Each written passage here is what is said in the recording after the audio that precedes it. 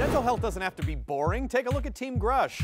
Grush is short for gaming toothbrush. When kids are brushing their teeth, they can play games on a tablet or smartphone. As they brush, it will wipe away the monsters so they brush right every single time. No one in the world can do this right now. So we can basically teach them where they're missing so they decrease the level of cavities they have. Dental disease is the number one disease affecting children. We can just prevent it. For parents, it's a reliable monitor because it uploads all this data. Intel Curie chip has the motion sensors, the Bluetooth, and the CPU all in one device. We are so going to win America's Greatest Makers. Go! Grush!